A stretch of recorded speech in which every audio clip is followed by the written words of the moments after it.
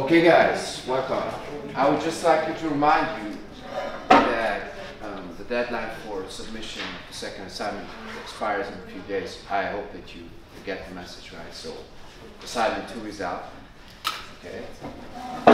And uh, of course people, I mean, just let me tell you this, people ask me why should you do the assignments and um, the reason for that is because you will significantly, probably you will significantly improve the final grade through that because actually it's relatively easy to score the scoring assignments. You see that, okay? So if you, even if you have like, you know, no idea about, you know, the statements, then the probability that you get, let's say 50% or more is actually 50%. So, I mean, if you use binomial distribution, you get that result. So that means that even if you have no clue, whatever whatsoever, then you it's still better to submit on the average. Okay, so if you don't, but let's say if you have just one or two answers that you know which is correct, then you you automatically have like 70% as ex, you know as expectation. So basically, I mean uh, it's relatively easy.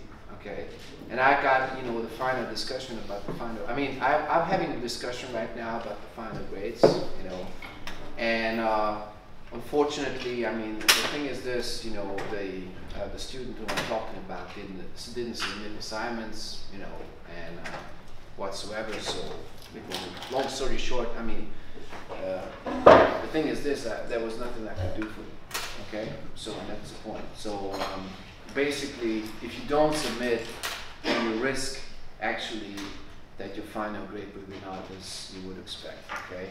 And this is something that you should okay? And on the other hand, you prepare for the exam, okay? So let's say, I'm, I'm, I mean, you've seen this, I'm, I'm, I'm, uh, you will get assignments every week, okay? Until the end of the lectures, okay? So basically, you prepare yourself and uh, yeah, so you will, you're up to date, let's say, okay? All right, so hopefully you know what, what, I'm talking about because as you've seen guys, it's get it's getting difficult. Okay, so and if you don't know, for instance, what a sigma algebra is, or if you don't know what a you know closure under com complementation or things like that mean, then you know you're you might face some trouble. So I don't I don't want to uh, you to uh, I don't want that to happen. Okay. Of course, on the other hand, it's relatively easy to score 100%. Okay, so if you want to score 100%, you have to be really careful on the other hand, but it's not impossible. Okay, so I would like you to encourage the to do that. Okay? Yeah? Did we uh, take a date for the final exam? No, not yet. Okay? I have to, I will organize that in the Facebook group, so I will put on a poll where you can vote. Okay? and uh, you get multiple options. So basically, I mean, I suggest some dates, you know, for you just to find an exam.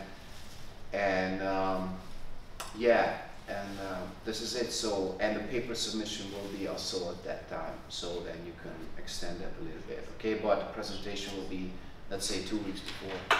So this is what I would like you to do. So that would be on a weekend. So if you, let's say on Friday, if you go home, then I would like you to, to upload your presentation video and uh, receiving that by, su by Sunday because the problem is that, and that happened last year too, the upload can fail, all right? Okay, so, and it, it takes like, you know, it takes time, guys, you know, so basically that, that these things happen now, we'll know, accept, unfortunately, I'm not to accept an apology because I have to put them together, you know, the videos that you send me, and it has to be ready for you to prepare for the examination as well. Okay, so if you, let's say you're having trouble, you know, uploading the video, then you should contact me immediately, and I will tell you what to do. Okay, so then I would like you to ask you to put a USB stick or whatsoever into an envelope, then you put that, you know, video on it, then you and then you throw, you throw that into an envelope and then you, you throw it to my, my mailbox. I will send you my address. Okay, so, so some more an address of somebody else. Okay, and they have to be there in two hours. Okay, I mean that's that's yeah. I mean you know you cannot you know students are trying to. I mean not, I'm not talking about you guys. Okay, but uh, there are sometimes, you know, weird people, you know, in this building. So you know that, right? And they try to extend the deadline by doing this, by saying like, you know, I cannot upload this and that, you know, I don't know how and what, whatsoever. And, uh, you know, unfortunately, I mean, I had to consider that you don't have access to internet or sometimes, you know, maybe your grandmother, you know,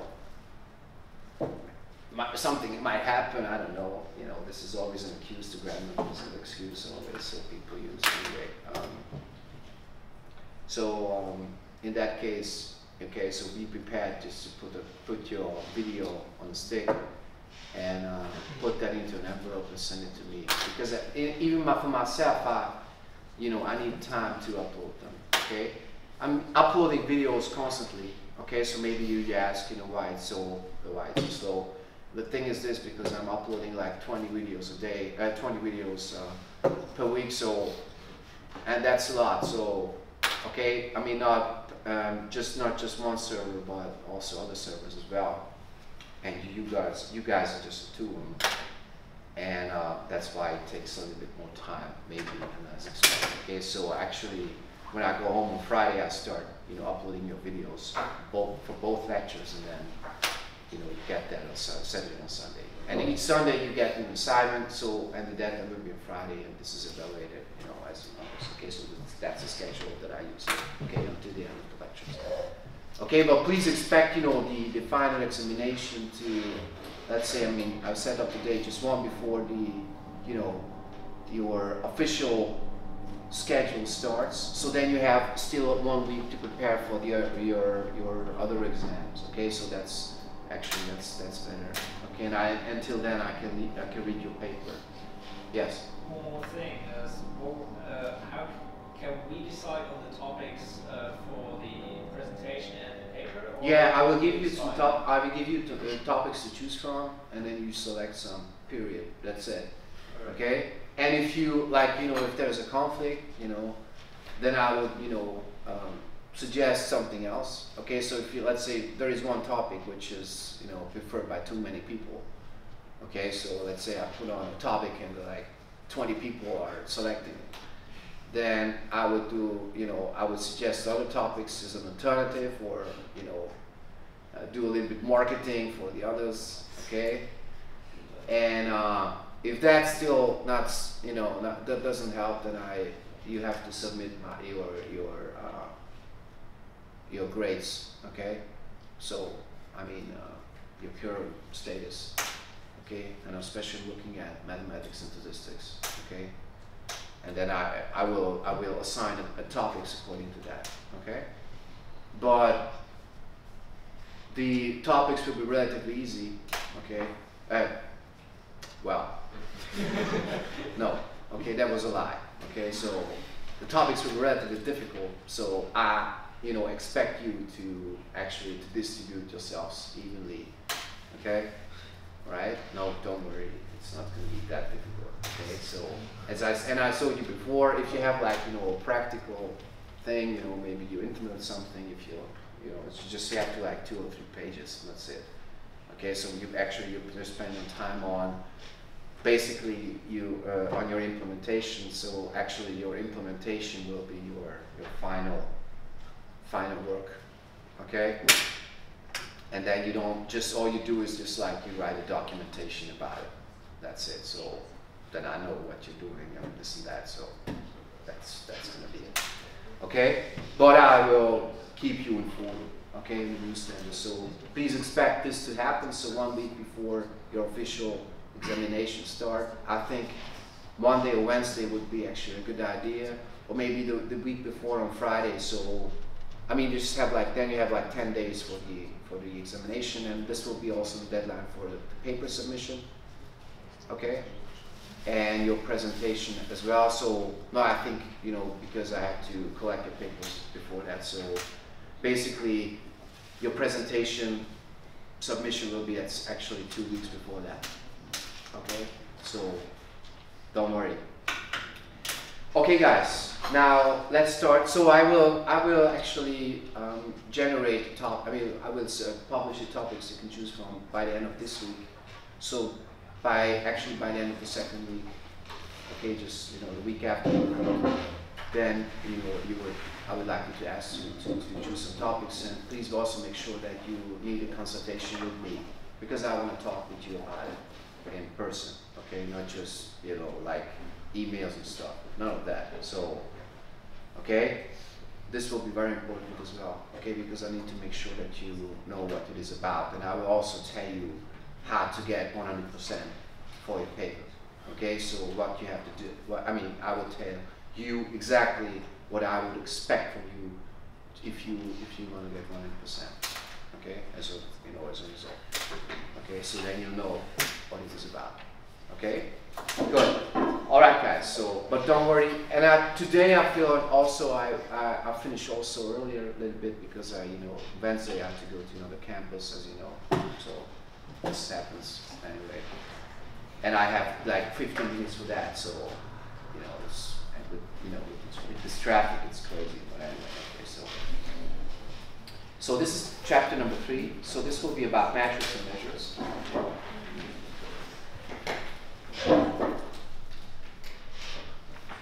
And we will talk about finally, I mean, first off, I will talk about distance measures, so the distance metrics, let's say, to be precise. Okay, then I will talk about measure, measurable functions, measurable spaces, and finally we're going to talk about random variables. So You're going to see what the random variable is. Okay, the definition. So this is what we're going to do. All right. Now, what is? I mean, what I'll talk about actually about metrics. Okay, so first off, a metric is actually a function. Okay, so this is going to be a definition, and this is the first definition also what you see in the lecture notes. So what is a metric? Metric, met, let's say call it metric, call it d. Okay, on let's say the set omega is a function actually of the following form. So what you do here is you have a function, okay, so the function is called d, not f, sorry, so get used to that. And it's defined on the Cartesian product of omega by itself, and it's, uh, it's mapped to the set of real numbers. So actually what we do is we construct the Cartesian product of omega by itself, and then we assign real numbers to the elements of that Cartesian product, and this will be a metric corpus by actually by means of the following properties. So the three properties that uh, actually that the function has to satisfy uh, are the follows. Okay, so first off the identity. Okay, so let's say the identity means the identity property means that let's say if you have two points, okay, and I'm talking about metric as, as some kind of distance. Okay, let just let me elaborate a little bit later. But first off, I'll try to define this. So first off here, let's say you have two points A and B, okay? And if the distance between the two, two points, okay, I call it distance because it's something that you might use to, okay, the metric, or the distance between two points is actually zero, then this shall imply that the two points are equal, okay? And of course, and of course, it's true the other way around. So if the two points are equal, then the, the distance is actually zero. Okay, so that should be equivalent to that. Okay. Now the second property constitutes the symmetry. Okay, so the metric has to be symmetrical. Okay, so what does it mean? It, it means that actually the distance between point A and point B should be always equal to the distance between point A, uh, point B and B, uh, point A. Okay, so if you go back and forth, you know, then the distance is always equal. All right, I mean that's intuitive. So, but Anyway, so, and, this, and the last one is the so-called triangle inequality. And I will give you an example for that. So this is a triangle.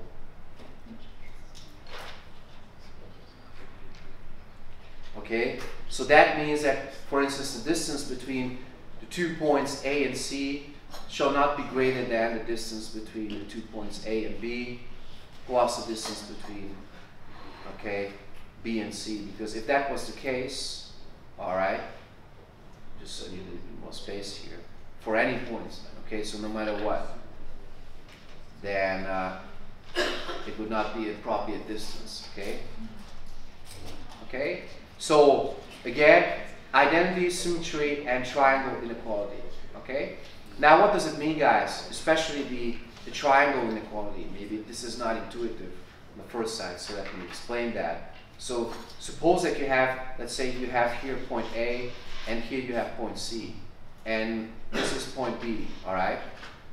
Okay. Now, the, the, uh, what the triangle inequality uh, actually claims is that the distance between these two points, okay, so let's call it D, okay, so this is the distance between A and C, okay, should not be greater than the, the sum of the distances here, okay, between A and B, okay, so this is the distance of A and B, and that is the distance of B and C, okay.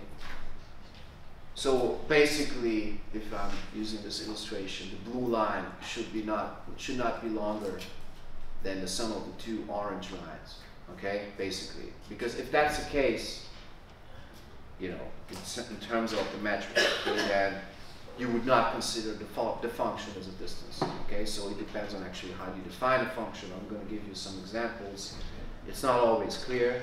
Okay, even in the two-dimensional plane, you know, what is actually the distance whatsoever, but that is I mean, so we define it indirectly as a function that should satisfy these properties, namely the triangle inequality. And that is also true for any other points here as well. So even if you put that point here, okay, or there, or whatsoever, okay, so no matter what, okay, no matter what, the length of this line here should not be greater than the sum of the two lengths here for these two, okay, provided that actually the distance function is always the same. This is what it means, okay?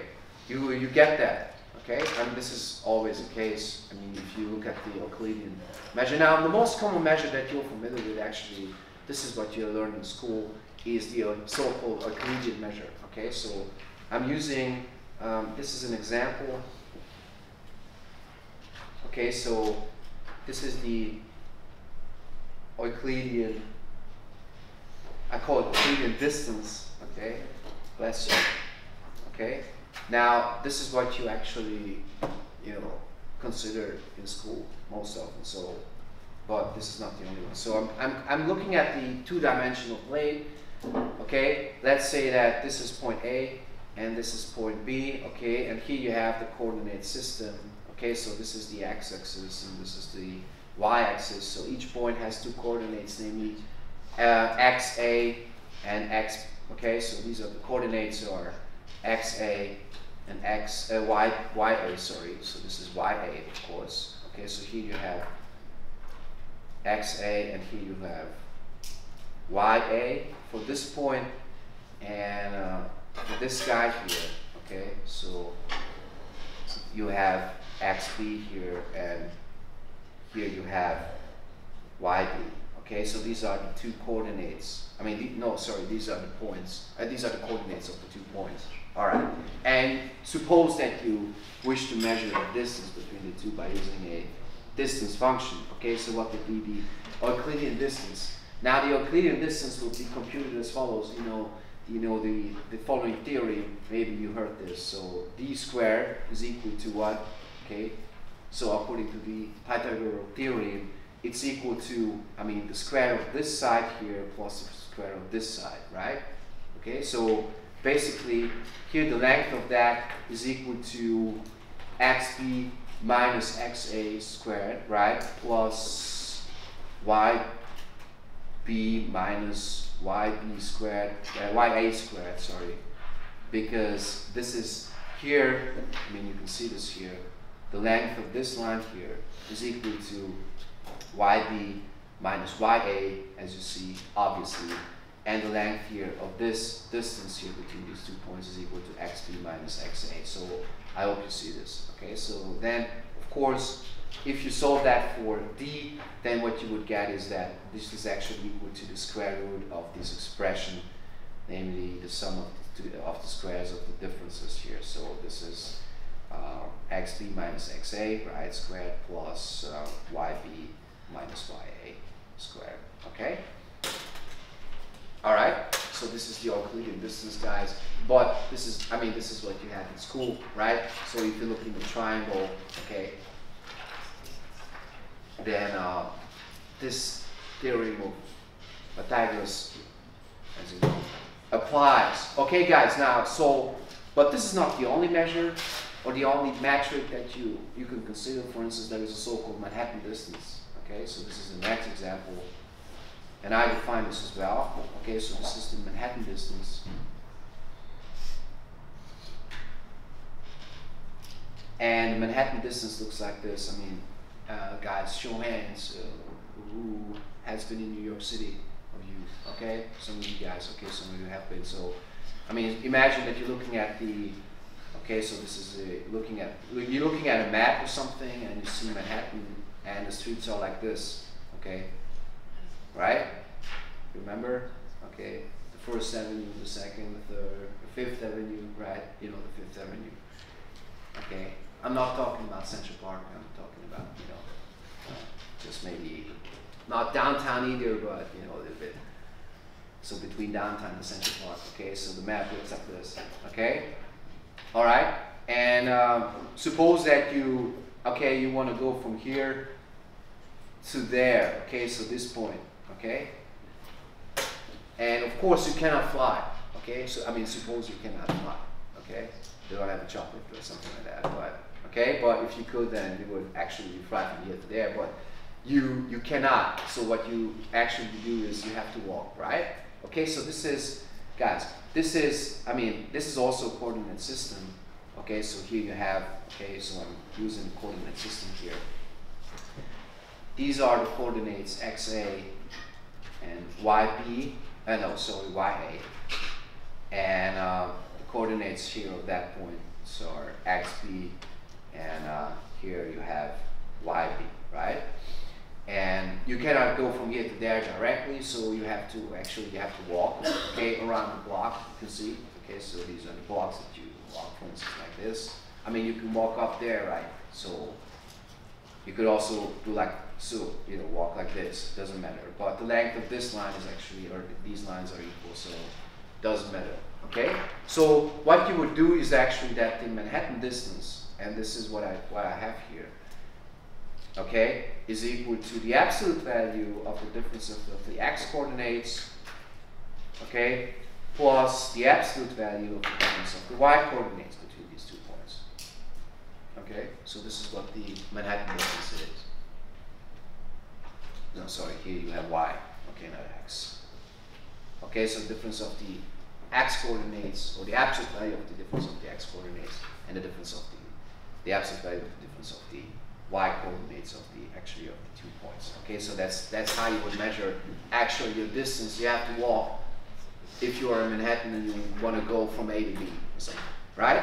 Okay, is this clear? Now this is a different, this is a different metric and of course, this is the Manhattan distance. Now, you can generalize that. And if you want to generalize that, you, you get the following distance. This is the Minkowski distance. Okay, let me just tell you what the example is. So the example is the Minkowski distance. Okay? This is what I use. There are lots and lots and more. Okay?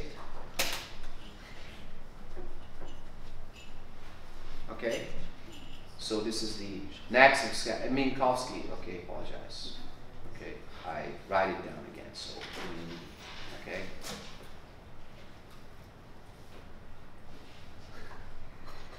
I, I don't know actually why I always assume I assume that people can read what I what I write because even, sometimes even myself can can can read what I write. But anyway, okay. So this is Minkowski distance. Apologize for that. Okay. Now, this is a generalization, okay? And let me just give you actually the formula. So, I mean, for the two-dimensional case, because we're only talking about the two-dimensional plane here. But this is something that you can extend for three, four, five, six, and whatsoever, finite dimensions, okay? So it doesn't matter, okay? So for instance, if you if you fly somewhere, okay, from here to, let's say, to Australia, then, you know, you would not connect this by actually by, you know, you, this is not a straight line, but more like, you know, part of a circle, right? Okay, so then you would actually, you would measure the, the length of the part of the circle that you fly. So again, so this is not so, something that this is not always intuitive, but anyway, so the, the Minkowski distance generalized to here the Euclidean and the Manhattan distance, and the, the formula here for that is something that you can find in the lecture notes as well, and I'm using that for the two-dimensional case because that use that it's intuitive. So it's a, this is equal to the difference of the absolute values of the x coordinates of two points. Okay, so I'm talking about two points here. And, uh, and uh, to the power of p plus difference of the two points, uh, two y coordinates of the two points, sorry. Okay, so ya minus yb again. And you take the absolute value and, and you calculate the, um, and you take that to the power of p, okay? I don't have any space, so I'm, I'm writing it down again, okay? Because I want to keep that in the same line. Okay, so this is not wrong, guys, okay? But I need, some, there need more space here, okay? So I have to be more careful, okay? So here, you open the parentheses, then you take the absolute value between uh, the, of the difference of the two x coordinates to the power of b of the two points plus the absolute value of the difference of the y coordinates of the two points. And you take that to the power of p, and then this is going to be taken to the power of 1 over p. Okay, so maybe you can see here, for instance, if let's say p is equal to 1, then you would get the Manhattan distance. Okay?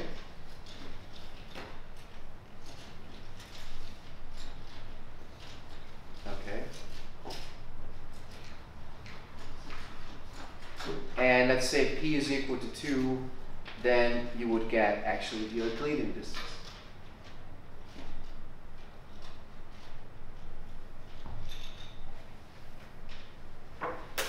Okay?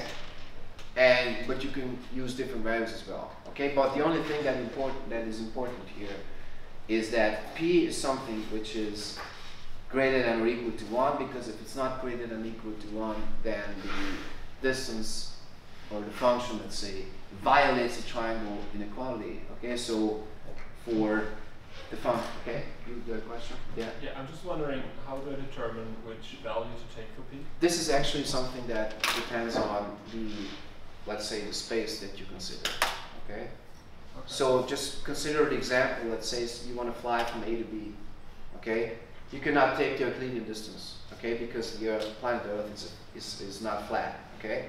There are people, still people, uh, living on the planet who, who don't laugh, okay? Maybe, you know, someone watching it. Uh, they will destroy the comment section and they get their friends and stuff. I mean, that happened to me. So one, one time I was talking about other people and uh, I had to take the video down because the, the comment section was spammed by now. Anyway, so based let me tell you this there are people who think that the earth is flat. Now if the earth was flat then you could actually take the euclidean distance but the, the earth is actually a sphere so basically you cannot take the euclidean distance for that. If you let's say fly from a to b okay? So then you have to actually use something else to, to measure the distance between two points on, on let's say on planet earth okay? Two arbitrary points no matter what okay? So it actually depends on the the the, um, the, the space that you're using, okay. And uh, but the only thing is that this, I mean, the metric has to satisfy is actually these three properties, okay. So for I mean, if if the distance between two points are zero, then the two points have to be identical, right? That's the first one. It has to be symmetric, and the second pro and the third property, sorry, is that the triangle inequality. Okay, so that's that's actually it, and uh, it depends. I mean, okay, so there are there are, for instance, I mean, the the largest measure is actually the maximum. Okay, so let me just, and this is the so-called Chebyshev distance, but let me tell you this. So for for okay, so for p less than one, the function violates triangle inequality. So hence, then the function does not constitute the distance. Okay, so the function the function, this function, okay, violates the triangle inequality. Okay?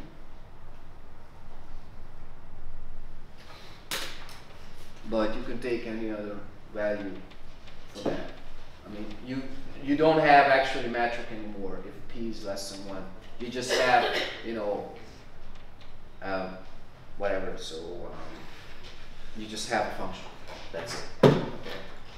So, and of course, if let's say if you take the limit of that, so this is this will be the last one. So this is the Chebyshev distance, okay, and this is the largest one. So there is nothing larger than that, okay, in terms of actual distance measure. So, and I'm using uh, a new slide here. So actually, what you have, and this is the example, the Chebyshev distance, okay.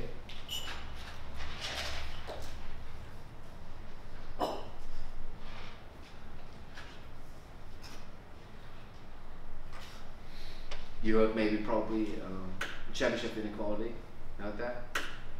Right? Maybe in school, okay? On statistics. Uh, you should have learned that. Um, I mean, uh, as I made it was not on the list, so I took it out. But uh, there is so-called Chebyshev inequality, okay? So maybe we're causing problem with the other. So we're talking about that. So this is actually the limit of the Minkowski distance. Okay, so what you do is you take the, okay, so let me just write here. So this will be the limit and the Minkowski distance will be, um, um, this is the sum, okay? now first off, um, the, the pth root of the following sum, so you have the absolute values of the absolute values of the x coordinates to the power of p plus the difference of the y uh, coordinates of the two points to the power of p, okay? Then you take 1 over p and then this will be, and p goes to infinity, okay?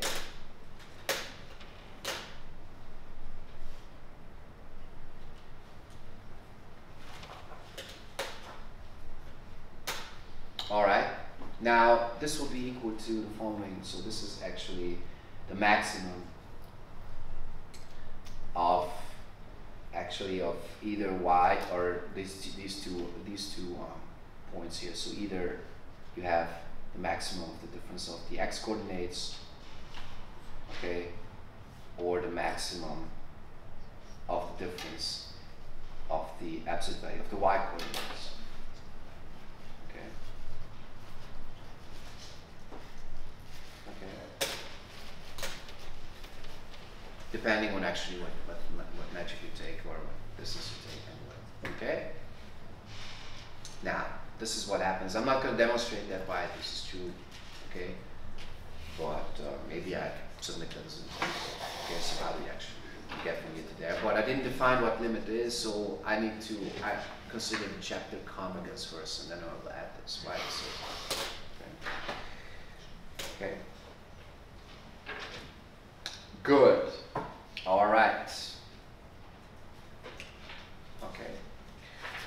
Now, let me define, guys, next thing that this is important, and this is will be the so-called neighborhood or the absolute, absolute neighborhood of two of two points. But um, look, you have to consider that, for instance, here that the what a matrix, what a metric space is. So if you have, let's say, a, a set omega, okay, and um, on which actually a metric or a distance function is defined, okay, then you would actually get a metric space. Okay, so the metric space is actually just a collection of omega and the distance function. Okay, so this is D is a metric. Okay, let me just write it here. So this is where D is a metric. Okay, or you can call it distance function. Okay. Now, if there is there is a possibility, guys, to define a distance function in a certain set, then you would actually call the collection of the set and the function as the metric space. This is it. Okay, so no big deal. Okay, and assume that I mean we use actually most uh, the real numbers most often. Okay, so for this set, but I actually use the two-dimensional place. So in the examples, okay, so let me just add this here. I used uh, I used for omega I used a two-dimensional plane, right? Okay, but this is uh, something that can be extended to the three-dimensional or the four-dimensional whatever. So in the notes you'll find the, this measure to be uh, this distance to be defined for the nth-dimensional plane. Okay, but I'm not going to consider that that, uh, that because after the third dimension it's no longer intuitive. Okay. Okay, guys. So now, but I'm going to use this here. So for instance, now what is a neighborhood? And this is something that I would define here. So, or to be precise, okay, what an absolute neighborhood is? Okay,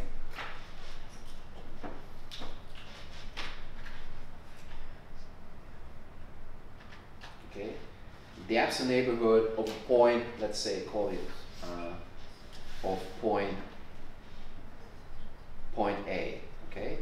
Now, this is actually a set that can be defined as follows. So I'm using U, okay, for that. Okay. And uh, of course, epsilon is a number that is greater, just greater than zero. Okay. So this is going to be U of A. So this is the actually this is going to be the neighborhood. Okay. And I will add epsilon here as an index, and this will be actually the set of all points. Okay. So this is the set of all points from omega that have actually a distance to A which is less, certainly less than epsilon. Okay, so the distance between x and A, okay, is strictly less than epsilon, and epsilon is just an arbitrary number. Okay, so for instance, if you just consider that on the two-dimensional plane again, okay, so because this is something that is not intuitive and I'm now using the Euclidean distance. Okay, so suppose that D is the Euclidean distance. Okay.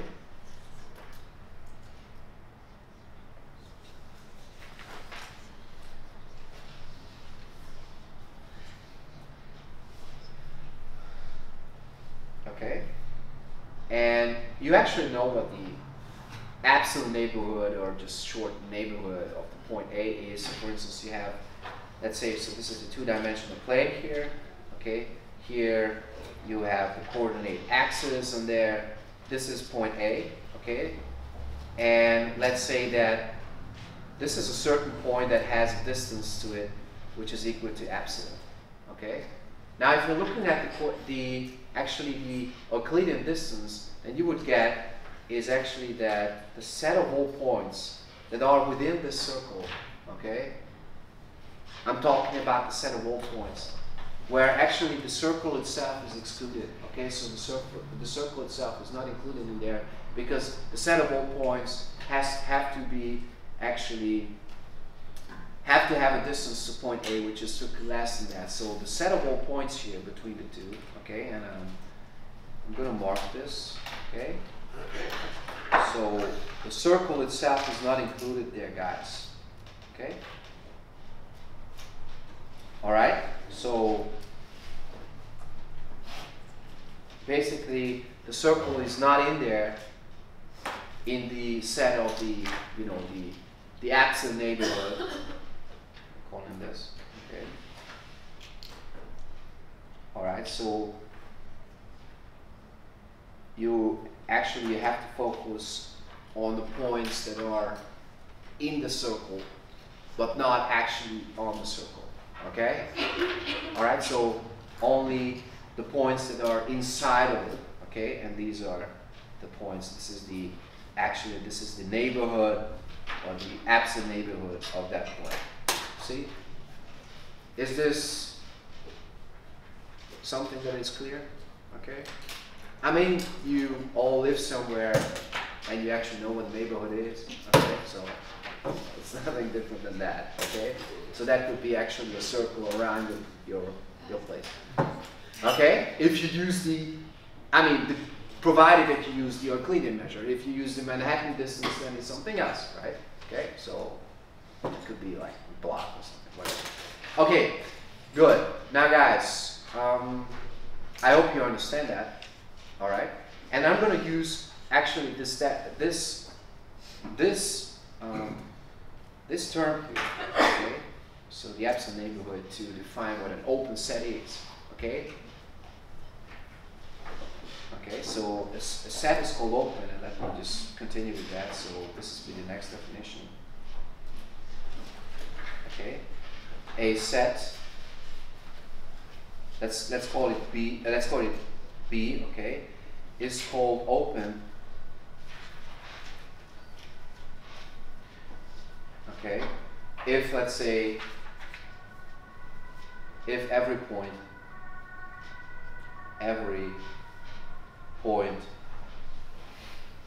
of B has at least one absolute neighborhood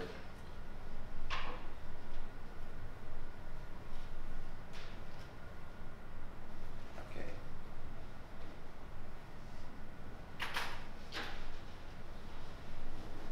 in the set B okay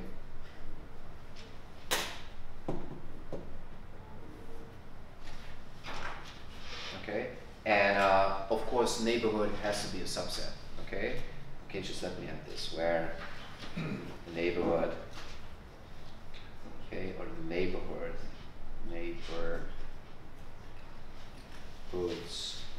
are subsets of B okay Okay. So for instance, let me just give you an example so maybe you understand it better. So the, the, the point is that every, every element of the set has to have a neighborhood. Okay? Maybe you consider the following at least one. Okay? So let me just give you an example so you understand, hopefully you understand better. So look at the straight line here where actually you're looking at the interval from, uh, from let's say from 0 to 1. Okay? And um, what I'm looking at is the open interval from 0 to 1, okay? Now, I'm looking at actually the interval or the set of all elements that are here, including the 2, okay?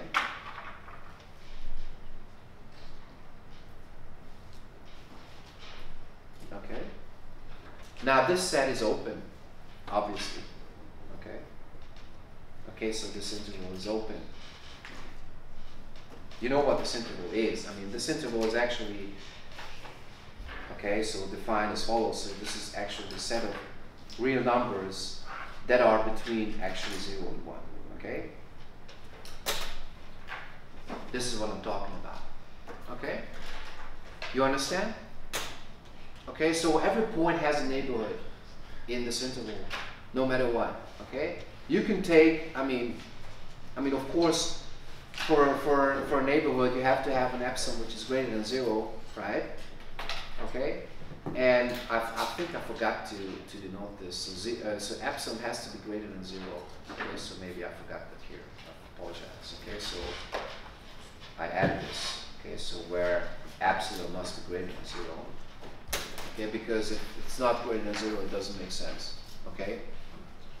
The point itself cannot be actually something okay? Because, I mean, the point itself would be actually neighborhood of the point if eps epsilon was not, uh, not greater than zero, if it was allowed to be equal to zero, okay? So in that case, every point would be actually also a neighborhood of itself, so, but this is something that shall not be the case, so it has to be strictly greater than zero, okay?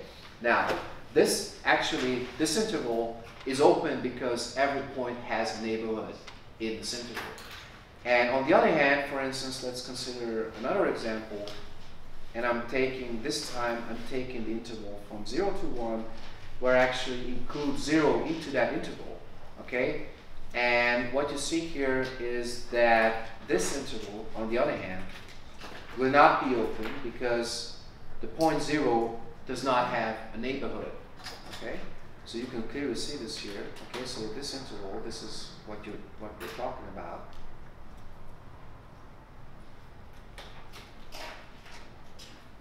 Okay, and this is what we have here. So basically, you see that the number the number zero is included into that interval where actually the number one is not. Okay, so this interval is not open.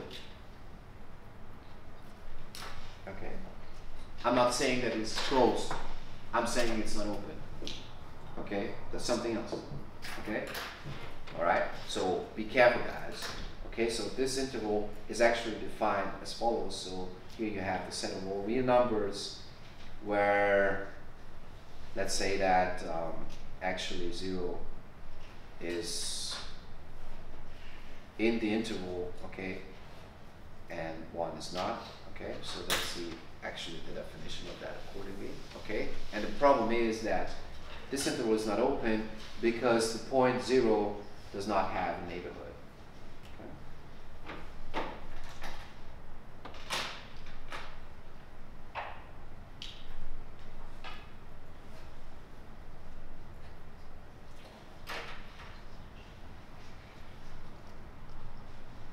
okay, that actually would be a subset of the interval, okay? Okay, maybe I continue below that because um, beneath here this picture because there is little space here, okay? So this interval is not open, I'm writing it down here again, so is not open, okay? Because there is one, there is one point in it which does not have a neighborhood because, because the element 0, okay, does not have a neighborhood